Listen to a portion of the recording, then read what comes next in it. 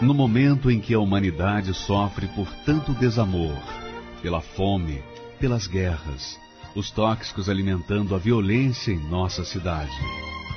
Esta emissora traz até você momentos de amor, paz e alegria, através de um programa feito com carinho para o seu coração.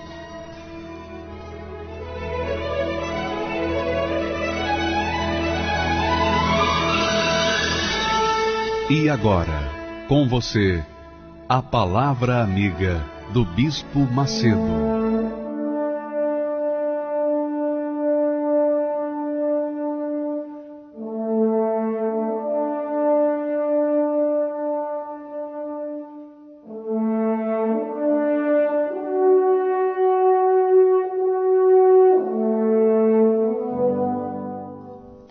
Graças a Deus que o Espírito do Deus Altíssimo, o Espírito do altar que santifica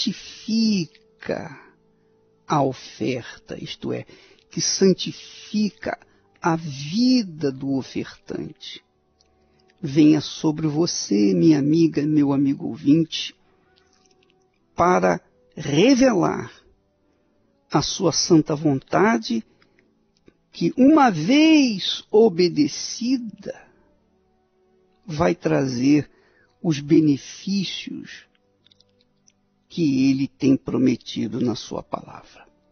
Deus abençoe a todos em nome do Pai, do Filho e do Espírito Santo. E quem crê, diga amém. E graças a Deus.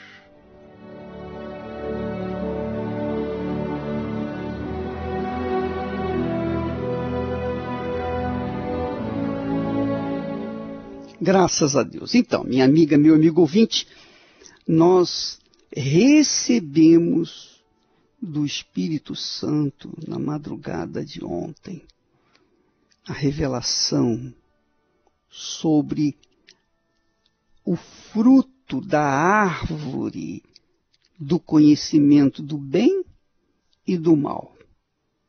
Qual foi o sabor do fruto da árvore do conhecimento do bem e do mal. Que, que gosto provocou em Adão e Eva? Porque Adão e Eva tinham a, o direito de escolher entre obedecer e desobedecer à palavra de Deus. Mas, em princípio, eles obedeciam a palavra de Deus e não havia qualquer risco para a vida deles. Adão e Eva estavam no jardim do Éden, um jardim com tudo que era maravilhoso. Eles tinham uma vida abundante, abundância de ar puro, abundância de frutas, frutos da terra, abundância de animais, abundância de vida, de tudo. Porque eles eram fiéis à palavra de Deus, obedeciam à palavra de Deus. Mas Deus ordenou, aqui em Gênesis 2 e 16, 17, Deus ordenou a Adão, dizendo: De toda árvore do jardim comerás livremente. Então você pode comer o que você quiser. Mas há uma árvore, a árvore do conhecimento do bem e do mal. Dessa árvore você não pode comer porque no dia em que você comer, com certeza você morrerá. É claro que Deus não matou Adão e Eva naquele mesmo dia em que eles comeram do fruto proibido. A morte deles começou a partir dali eles foram adoecendo espiritualmente.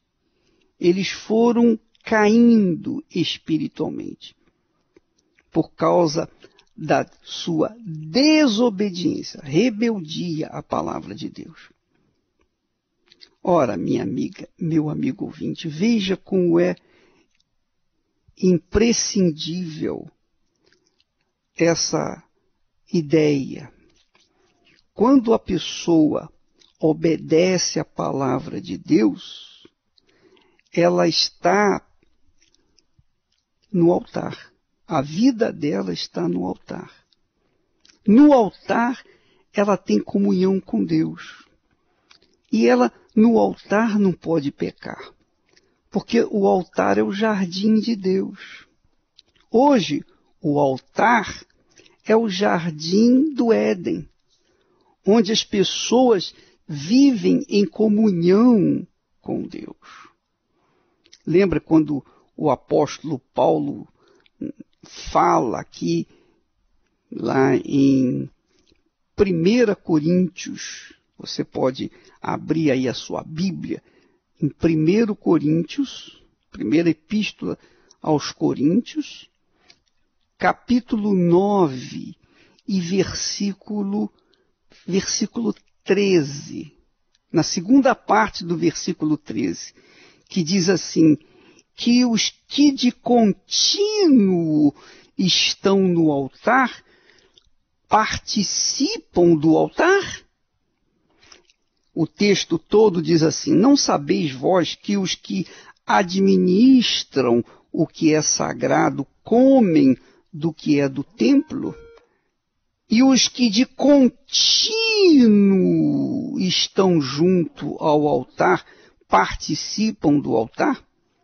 Quer dizer, quando a pessoa está no altar, quando ela está no altar, ela, ela é alimentada, nutrida, ela tem comunhão com o Altíssimo, ela faz a vontade de Deus e Deus faz a vontade dela. Ela faz a vontade de Deus e Deus agrada, agrada-lhe satisfazendo os desejos do seu coração. Mas o fato é, minha amiga e meu amigo ouvinte, que quando Adão e Eva comeram da fruta da árvore do conhecimento do bem e do mal, tiveram então os seus olhos espirituais cegados, os seus bons olhos cegados, e os maus olhos saíram, surtiram efeito.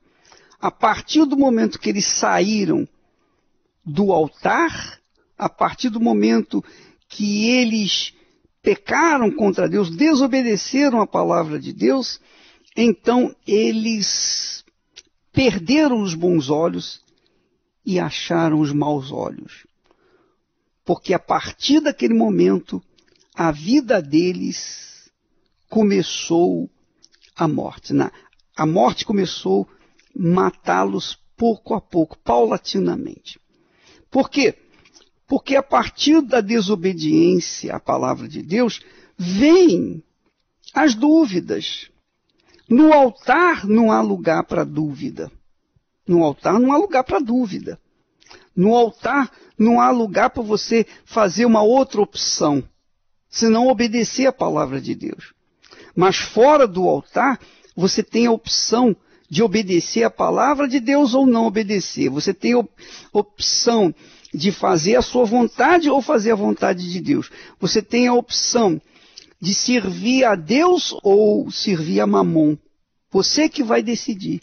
Fora do altar existe a segunda opção infernal, a segunda escolha infernal, que os maus olhos começam a observar e curiosamente começam a fazer as suas opções, as suas escolhas más. Você, por exemplo, pensa comigo, você está vivendo um casamento infernal. A sua vida de casado é um, é um inferno. Por quê? Além de você ter casado mal, casado mal, você casou com a pessoa errada, você fez uma escolha errada, você constituiu uma família errada. Então, você está envolvido num, num sistema cheio de erros, porque você está no sistema desse mundo, no mundo do inferno, no mundo onde o mal domina. Para você sair, para você sair desse mundo mal, dessa vida infernal fora do altar, você tem que morrer, morrer para si mesmo, quer dizer, morrer para a sua própria vontade.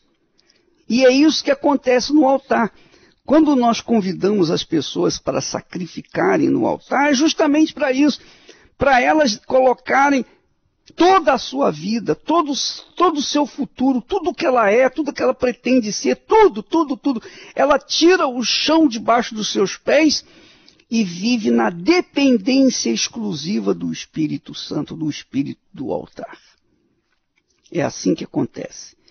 Por isso, os milagres, daqui a pouco você vai ouvir, os testemunhos milagrosos, maravilhosos, porque são pessoas que saíram, deixaram este mundo, abandonaram esse mundo, morreram para esse mundo e nasceram para o mundo de Deus, para o reino de Deus. Nasceram no jardim do Éden, nasceram no altar. Porque no altar quando elas colocaram a vida por inteira, então elas perderam suas vidas e o Espírito Santo lhes deu o direito de terem uma nova vida. Uma nova vida. Então, quando nós tratamos das bênçãos econômicas, bênçãos familiares, bênçãos da saúde, bênçãos disso, daquilo e daquilo outro, essas bênçãos são magníficas, maravilhosas, mas não são as mais importantes, ou não é a mais importante.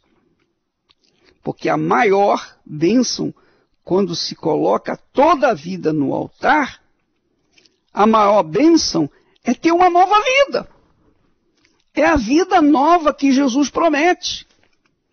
É a vida gerada pelo Espírito de Deus, não gerada pelo papai nem pela mamãe, mas gerada pelo próprio Espírito Santo. Por isso que Jesus diz lá: o que é nascido da carne é carne, mas o que é nascido do Espírito Santo é espírito, quer dizer, se torna espiritual e passa a ter bons olhos e passa a ter apenas uma opção a opção de servir a Deus, de fazer a vontade de Deus, de obedecer a palavra de Deus. Então, quem é nascido de Deus tem prazer de obedecer a palavra de Deus. E quando não obedece, quando desobedece, se sente mal, se sente terrível, e aí se arrepende e, com, e volta para o altar, volta para a comunhão com Deus. Aí ela tem paz. Porque no jardim do Éden, minha amiga, meu amigo ouvinte, havia perfeita paz. Assim como no altar. No altar a gente recebe a perfeita paz, a paz de Deus, a paz do Espírito da paz, que é o Espírito Santo.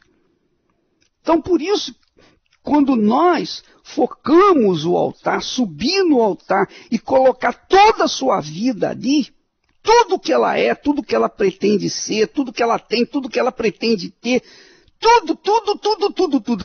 Quando ela coloca tudo no altar, então o Espírito, a plenitude, a totalidade do Espírito Santo vem sobre ela e ela se torna uma nova criatura. Ela se torna uma nova criatura, uma outra pessoa. Tudo começa novamente. Então, o, casamento dela é restabelecido, a saúde é restabelecida, né? a vida profissional é reconstruída, é construída, mas, sobretudo, ela passa a viver uma vida nova, uma vida nova, em outro plano. Ela deixa de ser aquela pessoa intranquila, aquela pessoa desassossegada, aquela pessoa depressiva, aquela pessoa egoísta. Ela deixa de ser aquela pessoa invejosa, ciumenta. Ela deixa de olhar com maus olhos as outras pessoas. Ela começa a ver as, as pessoas, os seres humanos, como almas. Então, quando uma pessoa está no altar, não existe branco, nem preto, nem amarelo, nem índio, nem brasileiro, nem estrangeiro, nem muçulmano, nem, nem judeu, nada disso. Quando a pessoa está no altar, a visão dela é como a visão de Deus. Ela vê todas as pessoas como almas. Almas. Almas. Só almas. Então, o judeu é alma, o muçulmano é alma, o, o branco é alma, o preto é alma, enfim, todas as pessoas são almas. O feio, o bonito, o gordo, o magro, o homem, a mulher, a criança, o jovem, o velho, todo mundo é alma, porque todos, todos, todos foram feitos almas viventes a partir de Adão e Eva mas por conta da corrupção, do pecado original, nasceram com defeito. Nasceram carnais, egoístas, ciumentos, orgulhosos, prepotentes, etc, etc, etc. Mas quando sobem no altar e colocam toda a vida ali, entregam a vida, dedicam suas vidas ali ao Espírito Santo, então o Espírito Santo vem e transforma essas pessoas em novas criaturas.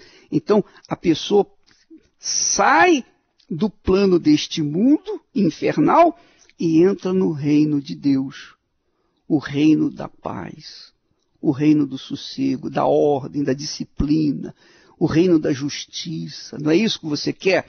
Todo mundo quer justiça, todo mundo quer a coisa certa.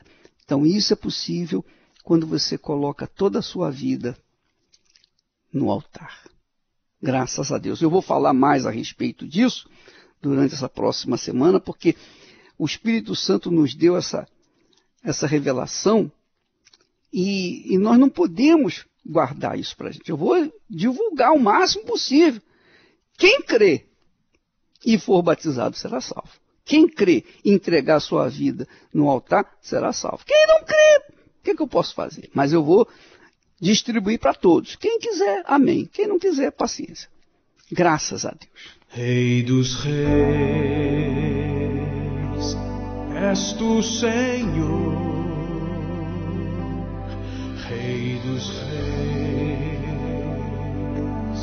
te adoramos.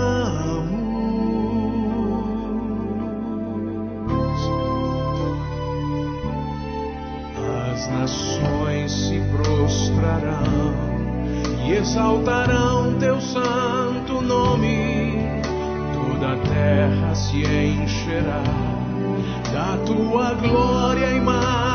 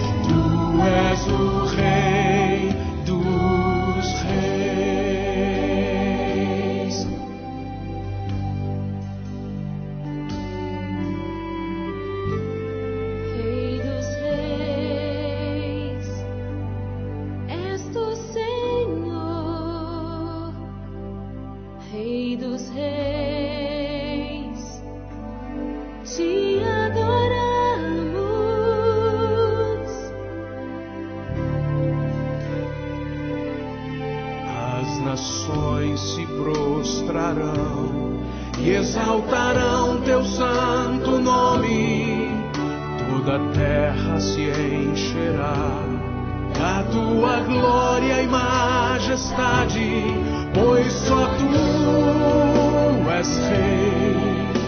Domina sobre a terra, domina sobre os céus, dominas para sempre. Tu és o rei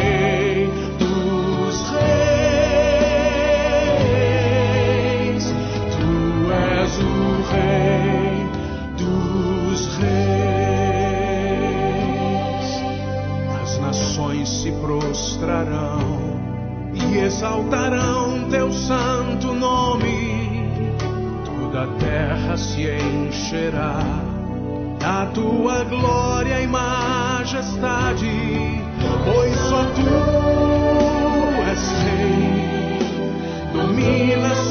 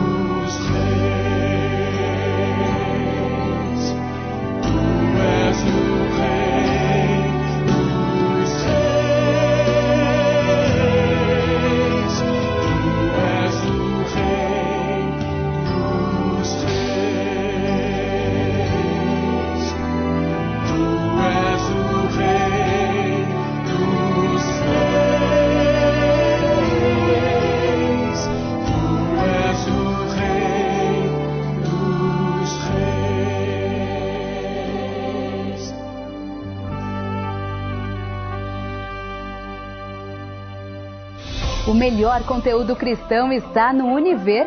Desenhos, filmes, documentários, clipes musicais, palestras e as principais reuniões do Templo de Salomão ao vivo, do seu computador, smartphone ou tablet. Assine já. Acesse univerparacrer.com.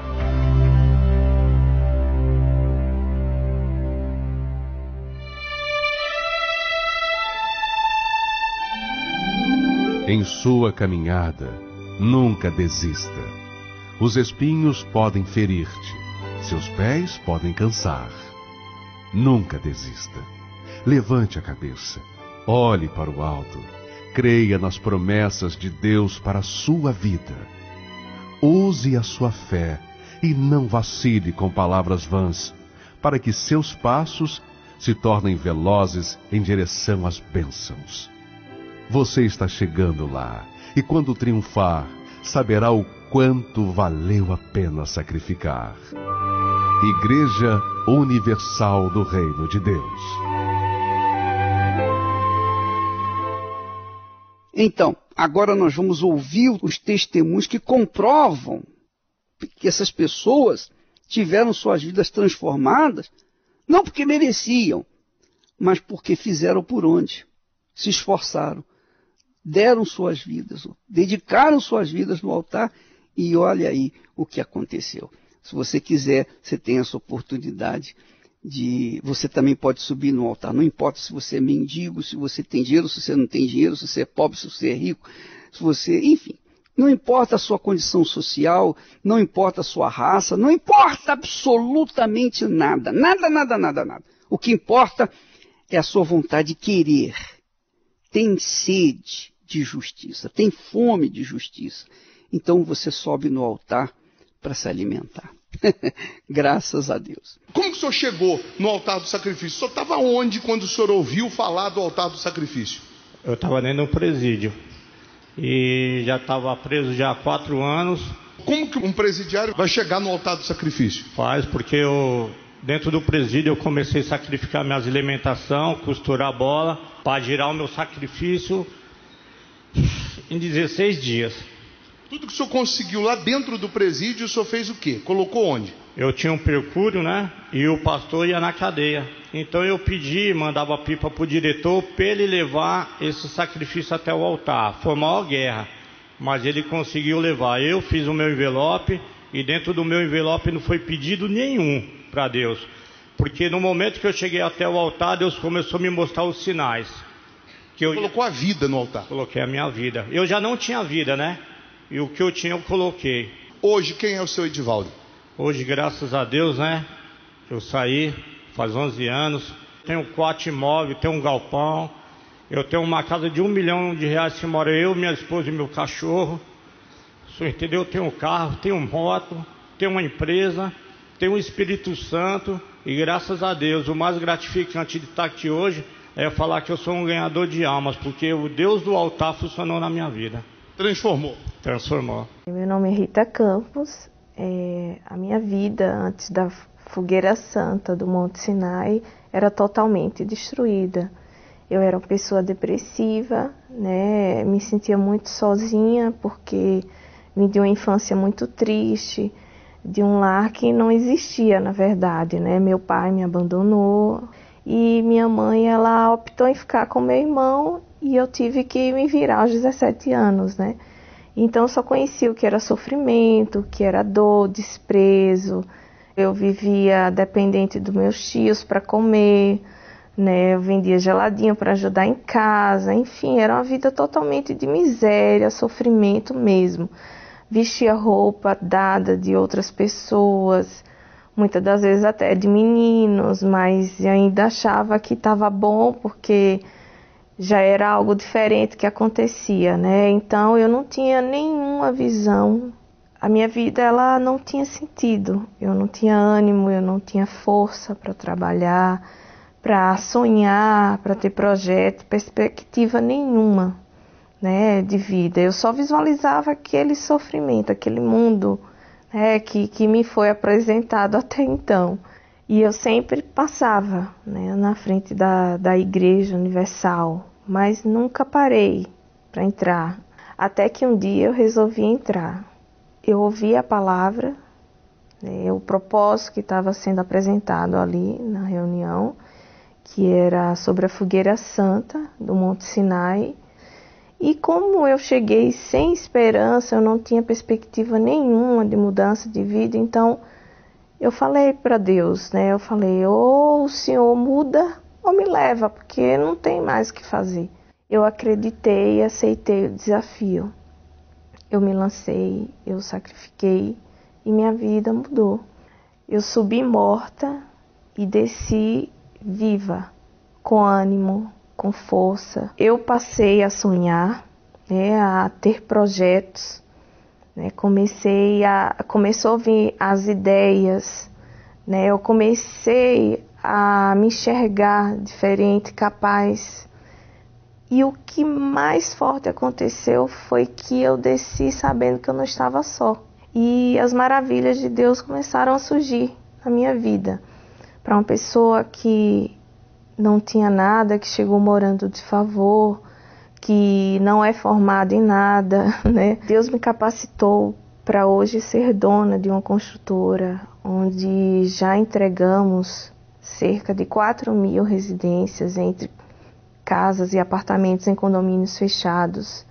Em execução temos cerca de 600 unidades de apartamento é, em construção. Para lançar próximo mês nós já temos 252 unidades, né? E assim carros, apartamentos, é, enfim, uma vida totalmente transformada como eu nunca pensei em ter. Porque, como eu falei, antes eu não tinha sonhos, antes eu não tinha certeza de nada, né? E após o sacrifício eu mudei, Deus me transformou e eu comecei a sonhar e principalmente os sonhos começaram a se realizar.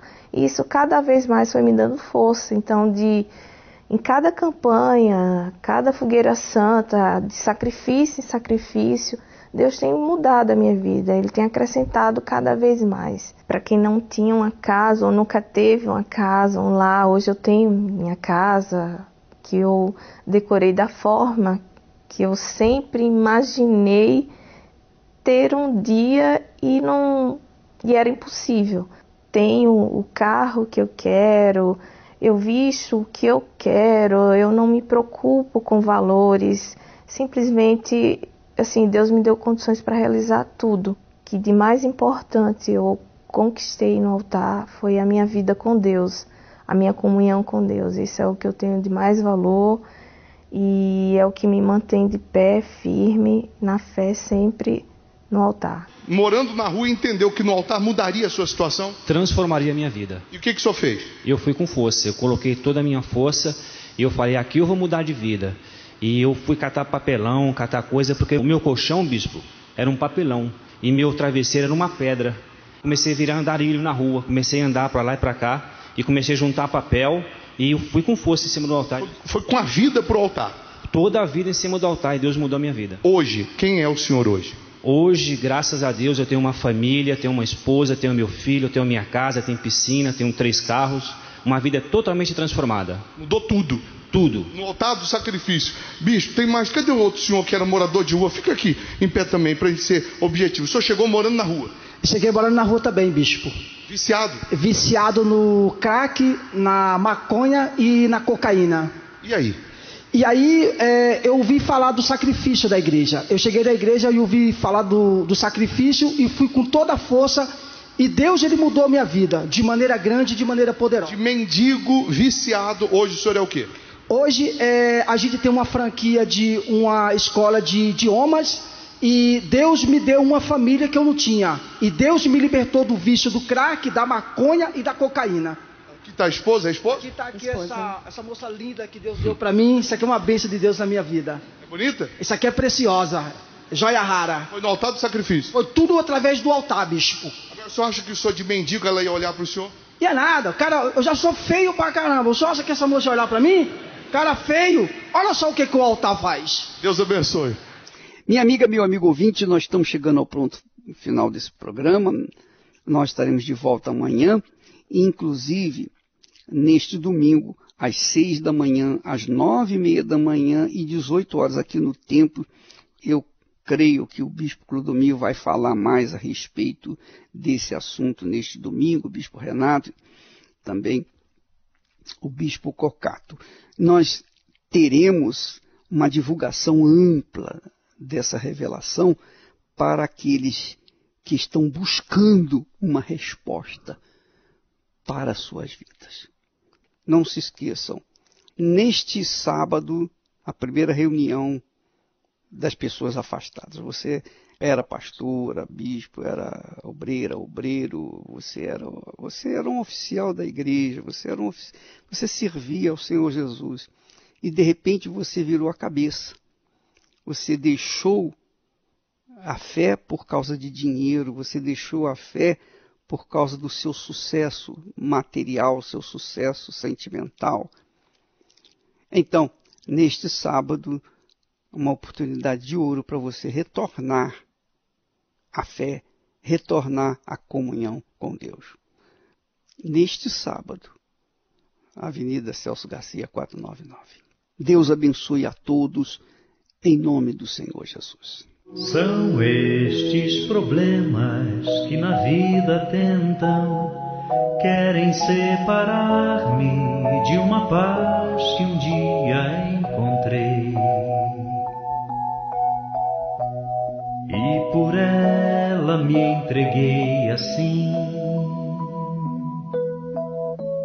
Corpo, espírito, alma, coração. Na realidade, mesmo assim eu sei, sim eu sei que Cristo é meu restaurador fiel. Tenho nele a minha fé selada. O Consolador habita em mim.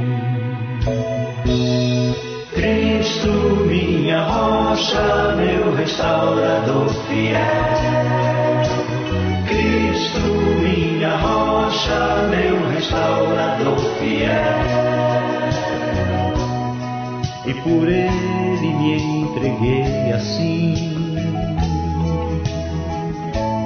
Corpo, espírito, alma, coração. E se não bastasse nos meus dias Que alegria ser um provador de confiança tal. Eu tenho os olhos no futuro que desde há muito tempo escrito foi. Já escrito foi. Só assim consigo me soltar. Para então louvor da glória ser de Jesus Cristo, minha rocha, meu restaurador fiel. Cristo, minha rocha, meu restaurador fiel. Só assim consigo me soltar. Para então louvor da glória ser de Jesus Cristo, minha rocha, meu restaurador fiel. Cristo, minha rocha, meu restaurador fiel. Cristo, minha rocha, meu restaurador fiel. Cristo, minha rocha.